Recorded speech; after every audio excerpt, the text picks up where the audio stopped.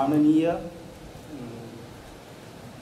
मंच आणि समविचारानं मिळलेले ह्या कार्यक्रमाचे सर्व माझे शेतकरी बंधू आणि मित्र. आम्ही शेती हे पाणी माती आणि सूर्यप्रकाश बियाणं याच्याचपासून केलेली एक शेती. याला काही वेगळं अजून लागत नाही म्हणून हा एक पवित्र व्यवसाय. आणि प्रॉपर्टी जर वाढत असेल तर शेती पिणं मला नाही वाटत कुठं व्यवसायातून वाढत असेल. म्हणून शेतीला आपण पवित्र व्यवसाय म्हटलं आहे. आणि हेच काम मी करत असतो. तर आम्ही मुख्य मातीचं संवर्धन आणि पाण्याचं जे पाणी जिरवणं आणि सूर्यप्रकाशाचं हार्वेस्टिंग मेन प्रॉपर्टी जी आहे ही पाणी आणि सूर्यप्रकाशाचं हार्वेस्टिंग हेच मुख्य सर्वांचं ध्येय असायला पाहिजे. आणि बहुतेक शेती करते हे सर्वांचं आहे आपण शिकलो पण. आम्ही माझी आई स्वास्थ्यरक्षक म्हणून काम करत होती. आणि त्याच्यानंतर ते काम मी पाहतो. जेव्हा सुरुवातीला आईच्या काळात आमच्या सरांनी जे सर्वे केले आणि मी काम के सुरू केल्यानंतर जे ते सर्वे डबल झाले. फिटनेसचे तर आमचे डॉक्टर साहेब अगदी थक्क झाले. का त्यावेळेस हे पेशंट नव्हते आणि आज हे जे पेशंट घेऊन राहिले तर याचं रिझन काय? तर शेवट भोजनच आहे. भोजन औषधी होतं. आता भोजन काही विष बनलं आहे किंवा त्याच्यात जे काही डिफिनेन्सी असेल इतर गोष्टीच्या. तर मग आमच्या सरांनी एक अशी कन्सेप्ट घेतली का आपण मग हे रासायन न टाकता सेंद्रिय शेती करायची. आम्ही सुरुवातीला दोन वर्ष जे बियाणं होतं सरकारी बियाणं तेच घेऊन सेंद्रिय शेती केली. त्याच्यानंतर आमच्या लक्षात आलं का विलायची कोंबडी गव्हावर नाही जगत जर्सी गाय आपल्या कुटारावर दूध नाही देत. तसंच ह्या पराठीले काही आपल्या शेतात चारा नाही आहे. म्हणून मग आम्ही गावरानी वानाकडे वळलो आणि जसजसं बी येत गेलं तर केवळ बी येत नाही गेलं. बियासोबत विचारसुद्धा येतं. प्रत्येक बियासोबत विचार येतं हे बघतो. आणि मग आमचं तिथून शेती म्हणजे शेतीची मशागत न करता विचाराची सुद्धा मशागत सुरू झाली. आणि इथून मग आमचा प्रवास सुरू झाला. तर ज्या आमच्याकडे बी नव्हतं जिथे कुठे माहिती भेटत अशा ठिकाणून कलेक्ट करणं. खूप जणांजवळ दहा दहा वर्षा अगोदरचे बी होते. त्यांनी कधी पाहिलंही नव्हतं.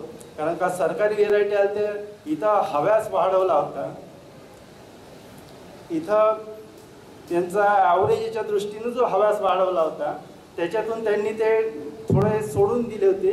काही जणांचे पडून राहिले सोने लागले म्हणून लावले नाही. तर आम्ही असे बी सुद्धा तिथून जेव्हा हे काम करायला निघालो चर्चा झाल्या तर मग असे चांगल्या विचाराचे जुने लोकसुद्धा भेटले. का चलावा ते बियाणं आहे पाहू कसं आहे आम्ही तिथून सुरुवात केली. कधी कधी एका बियाण्यात दोन चार जाती दिसल्या. जेव्हा विचाराची मशागत व्हायला लागली तर एक शोधण्याची दृष्टीसुद्धा मिळत गेली. मग त्या दृष्टीतून आम्हाला त्या पिकाची आता एक भाषाच म्हणावं लागेल. त्याच्यासोबत बोलण्याचे प्रयत्न केले. जसं पांडुरंग श्रद्धेविना दिसत नाही त्याची भाषा समजत नाही.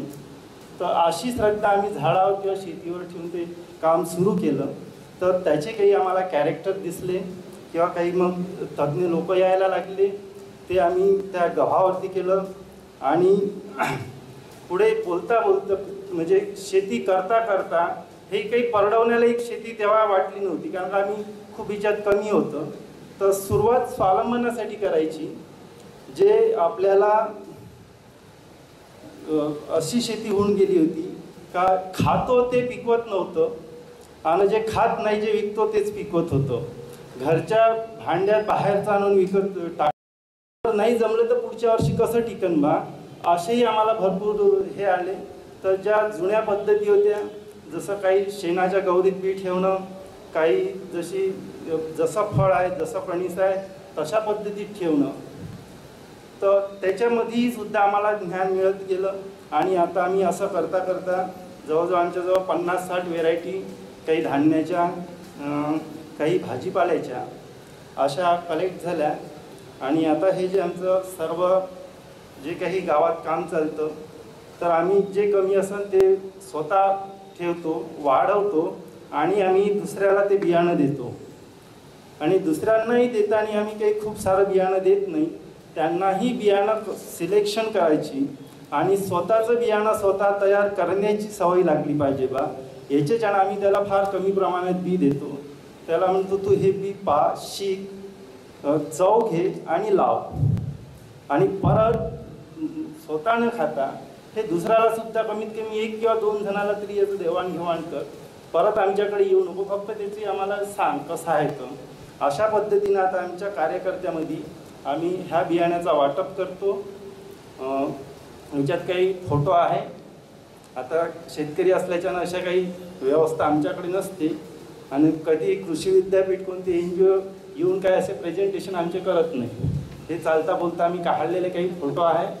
ते दिसत आहेत. आमचे एकाच ह्याच्यात आम्ही नऊ ते दहा गव्हाच्या जाती लावल्या होत्या. आणि त्या खूप जुन्या आहेत. त्याच्यातली चिकित्सा काही गावांची अशी वाढली का जेव्हा आमच्या आजोबाची एक भिंत पडली त्यांना विचारलं का हे केव्हाची भिंत? तर मला नाही माहीत म्हणजे झाले असेल शंभर दीडशे वर्ष. परंतु शंभर दीडशे वर्ष अगोदरही त्याच्यात जे बांधासाठी गव्हांडा जो एकत्र केला होता मातीमध्ये बिल्डिंगसाठी शंभर वर्षानंतरही म्हटलं याला शायनिंग कशी? आजही तुम्ही आपापल्या गावात जिकडे काही अगोदर गहू घेत असाल त्या गावात गेले तर जुन्या घरांना ते गव्हांड दिसतं. आणि आताचे जे आमचे त्यावेळेचे जे गहू होते किंवा आता जे आपण गहू लावतो एक पाण्यात लाल कुटार येऊन जातो. आणि त्याचं गाळण केलं तरी मग ते थोडासा श्रद्धेला बुद्धीची जोड जो आमचा गुरुमंत्र आहे ते देऊन मग ते थोडंसं उलथा पालत आणि त्याच्यावर चर्चा करून अशा पद्धतीचा मग ते आम्ही एक गव्हाळा गहू शोधला. आमच्या भागातला जो एक हावरा म्हणून आहे चंदोसी आहे. एक छोटी वाहणारी जात आहे बुटका. तर असे आमच्याकडे काही खपली आहे. पूजेसाठी चालतं काही व्हिटॅमिन असेल म्हणून काही जवची पण आम्ही लागवड केली होती. तर असे काही आमच्याकडे सात आठ गव्हाच्या हे आहे. तुरीच्या पाच सहा जाती आहे. काही आम्ही सिलेक्शन करून सुद्धा काढतो आणि लावतो. काही टिकतात काही कलेक्शन होत नाही. कारण का एकटा माणूस शेतीत काम करणारा आणि अशी परिस्थिती. तर हे कठीण जातं. तर याच्याच्यानं आणि कसं आहे ह्या कामासाठी कोणाकडे गेलं तर ज्यांना गरज नाही आज त्यांच्याकडे खूप मोठे साधनं आहे. सर्वात चांगला जोडा जर कोणाला पाहिजे असेल तर तुम्ही सांगू शकता का एक तर सोल्जरला पाहिजे किंवा कास्तकारला पाहिजे? ह्या दोघांनाही जोडा नाही चांगला भेटत आणि काल मोर्चाच्या याच्या त्याच्या गोष्टी सुरू होत्या. आता त्याची चप्पल घ्यायची सोय नाही राहत बरोबर. आणि ते मोजे येव देव काही हे नाही ते आपल्या याच्यातून रियूज करून किंवा परत वापरू वापरू ते शेतकरी करतात. पण अशी आहे काही धोरणं आणि काही विकास. आणि हा उपाद्व्याप अतिपिकवाचा हव्यास तर याच्यामुळे यांची परिस्थिती जरा नाही जमत. आणि आम्ही जर ती वाटलं तर आम्हाला काही कोणी पैसे देत नाही. एक किंवा दोन किलोचे. अं, पाहू ना किती होईल दहा वीस रुपये. ना आम्हालाही कधी चांगले माणसे येते तर काय द्यायचे? पाय जरा देऊन देतो दुसऱ्या वापस करतो. तर हे आता थोडंसं जास्त झालं. आपण अशा पद्धतीत जगू शकतो. पण घरचे लोक जरा जगणं मुश्किल आहे. तर हे कामही जरा थोडंसं जड चालतं. तर आहे अशा काही व्यवस्था? त्या पाहू. बस एवढंच बोलायचं होतं. काही स्लाईड पाहिली तसंच आम्ही स्वावलंबन म्हणून एक गुळसुद्धा प्रयोग केला. तर गुळाविषयी तुम्हाला थोडीफार माहिती देतो. म्हणजे जे मी समजलो ते. तुमच्याजवळ वेगळी असेल माहिती जास्त. तुम्ही फिरलेल्या आहे शिकलेल्या आहे. परंतु गुळ आमच्या जेवणातून कमी झाला. कारण का आमच्यावर असं हॅमर केलं आहे का गुळानं खरूज होती. आणि गुळ खाणं जरा थोडंसं आता खालच्या काठीचं झालं. सुरुवातीला गुळ एक औषधी होतं. तर जेव्हा मी कारागिरांना आम्ही अभ्यास केला म्हणजे त्याच्यावर चर्चा केला आम्ही स्वतः ऊस तोडून स्वतः त्यांच्यासोबत काढला त्याला म्हटलं आपल्याला असं कुठलंही केमिकल नाही टाकायचं आहे. जे जुने लोक बनवत होते तशाच पद्धतीचं करू. तर आम्ही जे काही वापरलं एक काटसावर रानभेंडी आणि एरंडीचं तेल. आता तो बनवते त्यालाही माहीत नाही की एरंडीचं तेल काऊन टाकायचं म्हणून. पण जेव्हा आम्ही चर्चा केली वसंतभाऊ याच्या त्याच्यासोबत तर एरंडीचं तेल हे बुरशीनाशक आहे. म्हणजे त्याच्यामुळे त्याला जे सर्फेसिंग होतं तर बुरशी वगैरे लागत नाही. बियाण्यांना सुद्धा आम्ही काही प्रमाणात लावतो जे काही जास्त दिवस बियाणं ठेवायचे आहे. तर म्हटलं मग याच्यासाठी हे का फार्मली नियम ते वापरतं? सल्फर वापरते गुळात. आणि मग ते शरीरातून फुटून निघते ना खरूच झाली म्हणते. डॉक्टर लोक हे नाही म्हणत का सल्फर टाकलं हे बंद करा. सीधं सांगते गुळ खाणं बंद करा साखर लावकी चालू द्या. तर असे असे काही काही चांगल्या गोष्टी आहे का ते शेतकऱ्यांपासून दूर जातं. तर याच्यावरही काही गोष्टी व्हायला पाहिजे. आणि आमच्याकडे जे काही गहू आहे आता फक्त एकच गहू आणि एकच पीक. सुरुवातीला शेवळाईसाठी वेगळे वापरत होते. मुंबईच्या हुरड्यासाठी वेगळे वापरत होते. सोजीसाठी वेगळे होते. तर असे काही जाती आहेत आणि इथल्यापेक्षा मी क्षेत्र चांगलं समजून सांगू शकतो. कारण का नेताही नाही ना वक्ताही नाही त्याच्याने इथून जरा तेवढं बोलता येत नाही. अर्धा अर्धा सोडवतो तर कधी कधी एकांतात बसू आणि सांगू योग दिला मोठा मंच उपलब्ध झाला. धन्यवाद.